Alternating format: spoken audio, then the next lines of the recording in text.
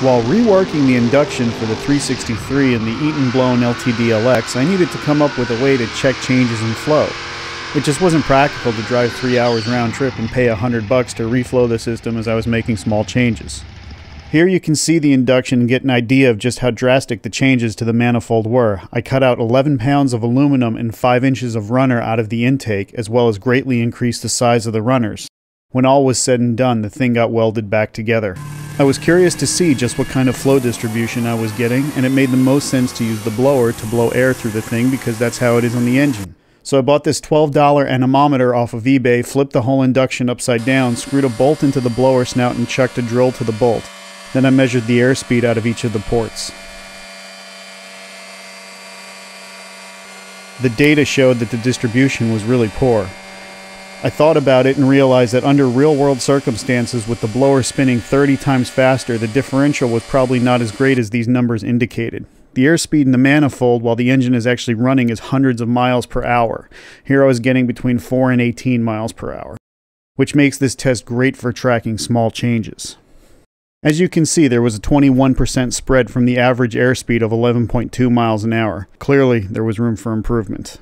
The first thing I did was mock up a divider out of cardstock in the discharge of the blower, then I ran the test again.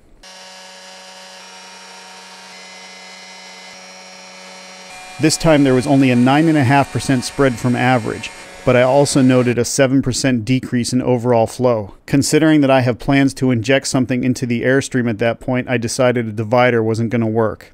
The loss of flow cemented the deal. So I turned to the upper intake manifold. I noticed that, not surprisingly, the front cylinders were lowest in flow, but somewhat surprisingly, the frontmost cylinder was actually flowing quite well. It was the two behind it that were the worst, numbers 2 and 5. Looking into the upper manifold, I noticed that one of the two bolt bosses, the one closest to the inlet, was lined up directly with cylinders 2 and 5. So I cut down the side that was blocking the flow more, and then I also did a chatter cut on the radius on the opening of the upper intake manifold, but on the front side only to create a boundary layer and help air stick to the radius more, hopefully moving more air to the front. I also did a little more work to the lower runners 2 and 5, but the lower was already ported to death, so there wasn't much left to do there. Then I ran the test again without the divider, but with the port work. And look at the improvement, a 16.5% deviation from average. While worse than with the divider, still an improvement of almost 5% over the baseline, and we also gained a little bit in flow, which is much better than losing it. Again, looking into the upper, I decided to do both sides of the bolt boss and lower the floor to the front of the boss to encourage the air to go that way. You can see that the floor is lower to the right of the boss than it is to the left. Then I reran the test again. Looking at the data, again there was an improvement, though smaller this time. We gained a hair more flow and improved the distribution by another percentage point. So that's where I left it. The only thing left to do was to refinish the upper and turn my attentions to the heads. Hope this gives you some ideas on how to check your own induction.